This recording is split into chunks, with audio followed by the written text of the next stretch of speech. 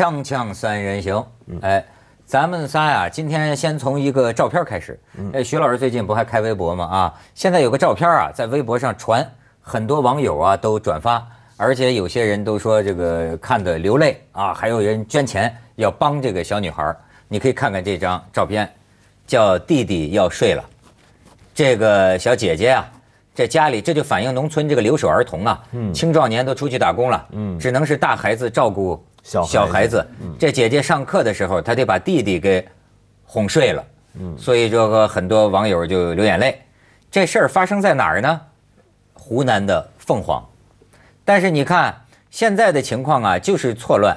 下面一张照片呢，也是最近发生在凤凰，发生在凤凰的一起吓人的这个冲突，说是十九个重庆游客到凤凰去旅游嘛，开着车，反正是因为车辆啊发生了一些个冲突，也闹不清说是谁先动的手，也有可能怎么着，但是最后发展了是几十个壮汉拿着这个棍棒，一棒就把这个肋骨打碎了。然后这重庆游客想挣扎啊什么的，有人拿着一把枪，据说这枪还有一些斑驳，拿着一把枪顶着头，然后被暴打了个鼻青脸肿啊！到最后，这个呃凤凰当地的警察来了，这凤凰当地的派出所的所长啊还是副所长啊，最后都要鸣枪啊示警才能够弹压得住。然后到最后，你说他到一什么程度？这个。凤凰的警察护送这十九个重庆游客呀，一直送到县境交界处，然后跟那个什么两国交接俘俘虏是送到那儿，然后重庆警方派来在这个地方把他们的人接接回去，这是咱们在报道上看来的。当然，说是最新的消息，凤凰县的那个领导啊，也跑到医院就去。看望伤者，嗯，表示歉意，而且说这个肇事者啊，该抓的抓，嗯，该办的办。那那那些你说那个枪啊棍啊那些人是什么人呢？闹不清。听起来有点像山寨里头下来的。他们好像是跟这个当地的这个呃中巴之类的，啊啊跑运输的这个车呀发生了冲突，就不知道他们是不是一帮啊？这不知道他们是一帮。这这这好奇怪，为什么重庆的游客去了会跟他们冲突呢？哎，这车嘛，比如也许我超了你的了，或者有些擦撞啊，是不是这个？这这然后他们随时身上就可以又有枪又有棍棒，这帮是什么人啊？那是啊，凤凰四少啊，不是，我跟你说。你我老是在讲啊，中国是地大物博，你知道吗？对对对，很多情况啊，不是中心城市里的人能想象到的。对，所以呢，你我们要经常跟人民群众聊天儿。湘西，湘西情况特殊，你能你能听得好？哎，不光是湘西啊，你像我上次去河南，我们有一个车，一个河南司机也是饱经沧桑，四五十岁，说原来跑运输，说挨近了打呀，你知道挨什么打？你也想象不到，中国公路上，他说我原来跑运输啊。开车呀，收这个买路钱，咱知道，你想象不到，前面一个大树，哦，就把路挡了。听过，对，挡了之后，嗯，你下车不下车？你一下车啊，就是一群披麻戴孝的，抬着口棺材在这儿，然后就说上来就是一巴掌啊，就是说我们家里人就在这车上给车撞死了，撞死我们家人那人那司机跑了，那我们现在要丧葬费，那只能你们跑这条路的，你们给，你不给啊？你不给就打。过路费没没没没听懂这个没听懂吗？其实不少地方有这样的情况，就是说你在坐那个大巴，在许多地方啊，有时候会给路上本地人给拦下来，然后呢上来勒索你，就等于收买路钱。你你不知道有这种事儿吗？是拦路抢劫了。对对对对，相当多，相对。现在好点了，我觉得，因为我以前听说，其实我们广东有些地方也常有这种事儿，嗯，就过去粤北某些地方，嗯，但现在其实很多时候已经好多了，比以前好多，但没想到还是有这种情况就是了。所以你看，咱们刚才看他这两张给人感觉很矛盾的这个这个，嗯，哎，这不叫矛盾，这两张照片加起来就叫是不是叫穷山恶水什么 什么的，对吧？你你这一个是穷嘛，一个是贫穷嘛，对吗？再一个呢，就会发生很多呃这种很很暴力的这个这个这个事件发生。嗯，不过我觉得你说这种暴力，呃，首先暴力我觉得并不奇怪，因为今天我们社会其实是挺暴力的一个社会。嗯嗯。但是呢，呃，像他这样子还有枪啊，那么发生冲突要拿枪出来，我觉得这这个个就比较罕罕见。连连警察都管不了他。，对，而且我觉得这警方的权威也很有意思啊，这好像没什么权威啊，听起来。就他如果说警察来了，一般你如果真的是土匪的话，就要走了嘛。嗯，他不行。你想想看，他鸣枪示警这什么意思？就等于警察来了，穿着制服，你都不跑。对呀我才鸣枪示警。对对对对对，是不是？就是是是这样所。以说他其实挺凶嘛，那等于是地方一霸。我觉得这很有意思啊，因为以前我们看小说的时候，武侠小说常常说到中国各个地方要小心有很多绿林好汉，然后地方上有强人，那你总觉得好像是个旧社会里面的事，就是国家权力没办法进村的年代的事。对对对但现在。其实我我总觉得我们好像早就不是那个状况，但好像仍然还是有强人啊。但以前的这样的人，我们还赋予很浪漫色彩，觉得他们侠义，他们路传见不平，对不对啊？这种这种地方武装力量，在相当程度上是做一些官府做不到的好事的，或者是做一些官府做不到的事情的。这个 这个一直是这样描写的，尤其是那个地方，我们会想到沈从文。沈从文想写的东西，他一直是把当地的这些这些武装，嗯，呃呃，现代的作家里边，只有他最了解这些军队，他自己当过兵。对对对。所以很多人就是军呃军队已经是很坏的了，嗯，军阀是更坏的，地方军阀更加是坏。可是他描写出来里边的人都非常善良，嗯 对吧？伙夫这个也也很尽职。啊，里面的军官都也很人道，三个男人跟一个女人，这个这个这个故事都很，所以这个事情发生在凤凰，就让人更晕了。没想到就是那那也不错啊，是你哪知道他们是不是好人呢？也许他们彼此之间也都很好啊。沈从文写那个其实是很大程度上是他们彼此之间那个氛围不错吧，对不对？他可没写过说对待重庆来的人该怎么办。那个时候我还记得第一次去张家界的时候，我们一批开会嘛，韩少功教授我们去的，很多作家跟我一起去。到了那边，我们就自作多情嘛，看到很朴素的女孩子在街边，就说湘西的姑娘翠翠啊，什么怎么讲一大堆翠翠，没想到翠翠要收钱的没想到翠翠从那个小兜里噔儿拿出一盒可乐。三块五，把我们把我们的幻象打的。所以你看，你说这个，我这又想起最近的一个一个挺有趣儿的讨论啊，说这个广东省啊第二届省农运会农民运动会日前在江门举行，深圳决定弃权。对，农林渔业局说。深圳已经没有农民了，说二零零四年，人深圳也说的是实话。二零零四年村改居完成以后，深深深圳已经没农民了 啊。说农运会是农民参加的，我们不搞形式主义，所以不参加。结果 经过省农业厅多次协调，深圳呢只得就是说非让我们参加，我们就派出代表以观观摩的形式出席。对吧？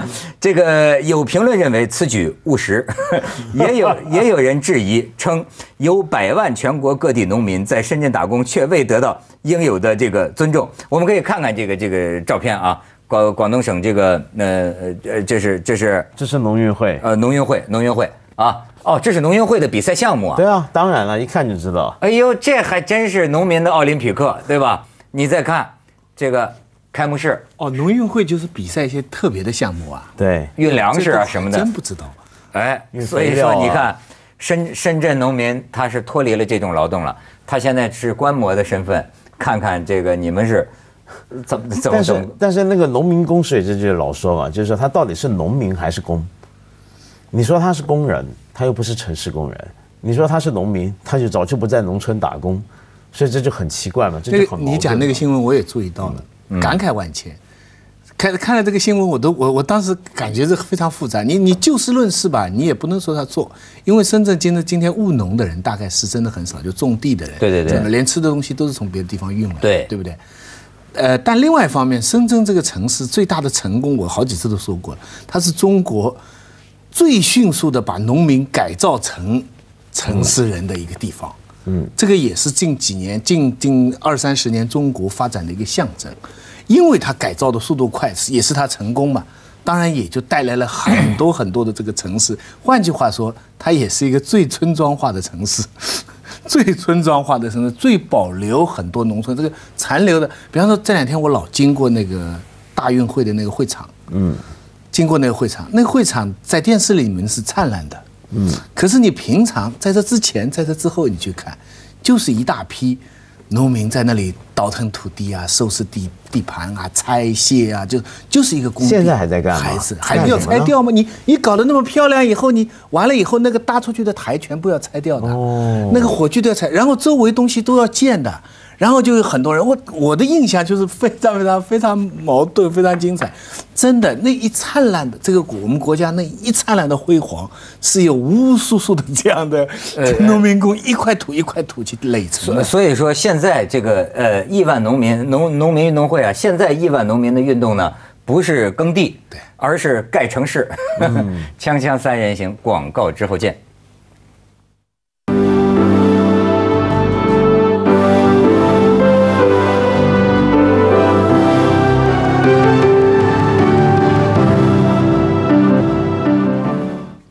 你说这个农民呢，我最近呢也确实觉得就是很矛盾，你知道吗？也我就说咱们应该多去接触农民嘛，嗯，因为你看我的印象还是书里边就是农民都是淳朴的，对吗？农民都是厚道的，是善良的啊，大多数农民都是很憨厚的。我到现在脑子里啊还是这个印象，嗯，可是呢，因为我妈妈的这个病啊。我只有了一个渠道了解一个农，还是个农民的代理人。你看，他还不是直接的农民，因为就不是代理人啊，对，农民的中介，嗯就是他呀，是这个，就我妈妈要请找阿姨找请护工，护工请护工。你知道这个护工啊，太难找了，给我爸爸赶走了一个又一个，你知道吗？大概当然当然，我们家大概不是积善之家嘛。怎么来这儿？我们这儿的人都是不是小偷小摸的，就是那种，就反正就是总能。我爸爸也挑剔，对吧？总能就就总不行啊。后来呢，我就跟这个一个中介讲，他他就跟我说了一通啊，他对中国现代农民的见解，我听了很惊讶，很惊讶。我也不能认为他是对的，因为他只是接触了一小撮儿。他说：“你看这儿来做护工的都是农村的那个家庭妇女啊，他们的老公都在外边打工，甚至有的人的老公坐牢呢。”就就就就犯罪啊！这个这个农村里有像这有一定的犯罪率，有的老公在牢里，他家里没法吃没得吃，你这护工这活儿伺候病人的，他才出来干这个。你以为他他他他会对你们家人好啊？他就为了钱呐，他可不就为了钱？而且呢，他就说，甚至他说这么一句武断的话，他说：“我跟你说，这个现在这个农民最坏的就是农民。”这是一个石家庄介绍护工的这么一个一个一个一个一个噱头，一个噱头。他跟我聊天，哎，他后来他说，我我说农民应该是挺厚道的嘛，对吗？挺憨厚的嘛。他说你那个完全，他说你不了解，都都我我我才知道这个什么小偷小摸、坑蒙拐骗。他说你比如说这个这个护工到你们家，他说你以为他会真心伺候你妈吗？他就是想怎么你能多给他钱，他少干点活。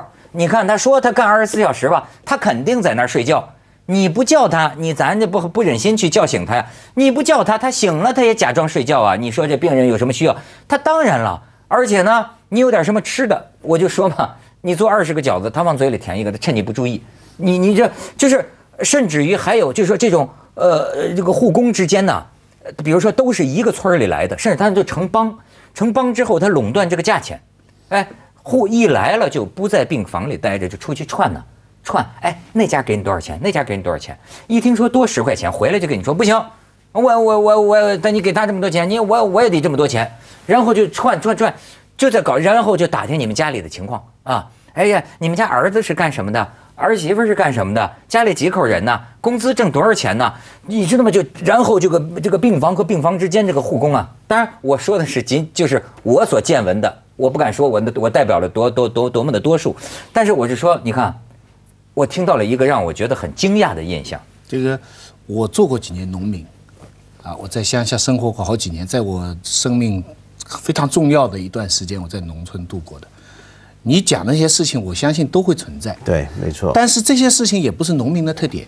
所有各个阶级、各个工种的人，你上到高企主这个高等的主管啊、领导，下到一般的外国人什么，他们都会要想挣得多一点，都想要生活的好一点。如果不知道，他都想，呃，有二十个馄饨我肚子饿，我吃一个，这这这是非常正常。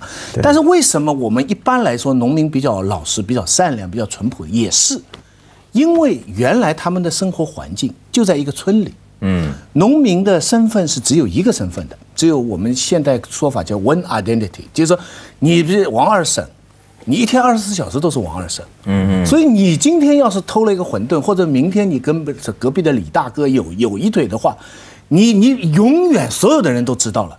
所以，因为所有人都是熟人，所以农民相对来说真是比较老实，因为他他没有改错、隐瞒跟跟重新做人的机会，他做一件事情就谁都知道。所以农民不会用什么 LV，你农民用一个很贵的 LV 回来被人家笑死了，你家里的猪都养不好了，你还 你你还做什么芙蓉姐呢？对不对？所以农民是这样生活的。现在的农民是出现两个情况了，第一，他突然到了城里了，到了城里就意味着。他周围有很多人，他可以不认识了。他做的事情，人家不知道他是谁了。你看这一来是跟他原来的环境很不一样。对，监督。哎，本来隔壁人家的鸡，我也是想拿的，但是你知道厚道，我怎么能拿呢？我拿了这个，明天大家知道我这在村里怎么做人的，我哪有脸面做人？现在他到了城里，发现我明天是可以不在这里的。我今天在罗湖，我明天可以去南山，鬼都找不到我了。但城里人呢？应对城里人可以改变身份这一条呢？城里有很多游戏规则，比如最简单的有职业伦理，对吧？你做什么事情，你不能，你你你做你做个用工，你不能偷东西，偷东西以后中介就不介绍你了，等等等等。城里有很多这些游戏，而这些他们一来的时候，开始还没怎么接受。你常常看到有的人在翻高速公路，啪走过来，非常快的走过来。你开车哦，他非常快走过来，然后翻一个墙。你你你站在他的角度来讲，我的村庄被你这条路隔断了，没错。你叫我怎么办？我我我我我到我嫂嫂家里吃碗面，我都得这么危险的过。可你开车的人就觉得，你这个不是害人吗？你这个不到时候你害你害我，啊所以。所以我觉得农民城乡现在这个，其不过其实自古以来啊，我觉得我们把农村想象成淳朴啊，就像你刚才讲那个淳朴，其实不叫淳朴，那种淳朴叫什么呢？其实就是一种，我们说他以前到农村，觉得他们不敢说谎或者不会说谎，那是一个为势所逼的状况。对，那不一定是淳朴。其实农民呢，向来也有一种说法，就是说农民有农民的狡慧。对对。农民是有一种农民角会，嗯，他你想他那么小的高晓生都写都写嘛，对不对？因为他那么小的村，他就几百户人，天天从小到大就那么对着，那于是呢，心眼反而有时候会特别细，嗯表面上看好像很憨厚，但其实有时候人跟人之间的计较啊，小小的细节啊，他反而在意的比谁都细。嗯城里人有时候相比起来反而比较大度一点，因为你顾的事儿多嘛。嗯，而且我明天可能就跟你不见了嘛。对，有些事情就不计较我们是个合约关系嘛。但他们会计较的多。可是我想讲就是，这种。这种比较不好比较，比如说你有时候你甚至可以说，连一个华尔街现在天天被人骂的这百分之一都要比我们咱们农民淳朴，为什么呢？因为那个华尔街大亨到你家不会，哎呦吃饺子我偷吃一个，对不对？对对，他不会，但是他会在账户上不晓得把大家钱给坑个几亿，就是你你每一个饺子他都来来算你一笔钱，他所以我想用这个当什么例子来说明一个事儿呢？就是说所谓的狡慧狡猾。是不同的人，不同的阶级，不同的地区有不同的方式。我城里人有城里人的狡猾，农村有农村的狡猾，谁都别说这谁纯。我明白了，就是说根儿上来讲，全都是农民。窃钩者诛，窃国者侯，没错，是。锵锵三人行，广告之后见。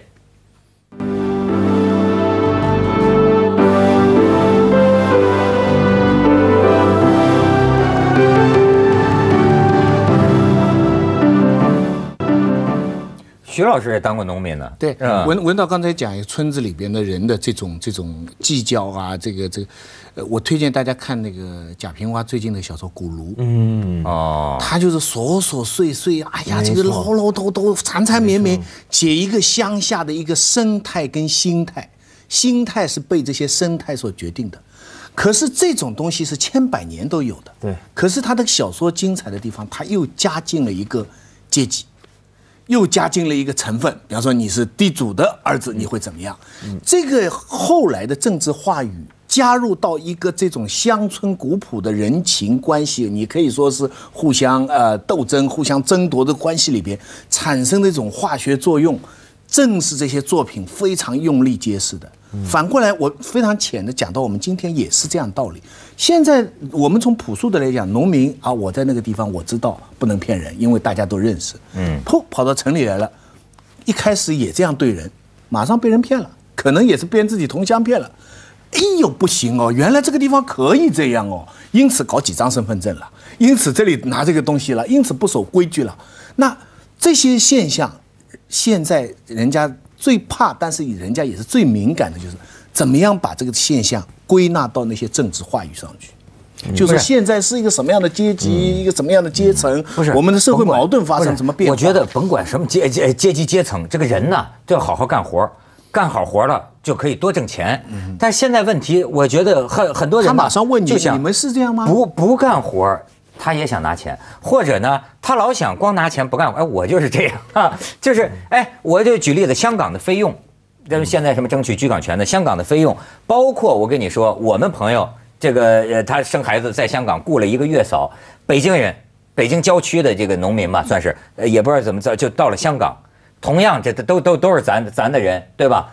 哎呦，那个对这个产妇伺候的无微不至，甚至还给你煲汤，以至于我这个朋友有钱呢，他好到一什么程度啊？他把这个香港的这个月嫂啊，高薪请回北京去。他说我让这月嫂给我们家那几个保姆啊培训。那你说这怎么回事？职业道德，职业伦理啊，这是城里的规矩啊，这就是城乡转变当中最初那香港。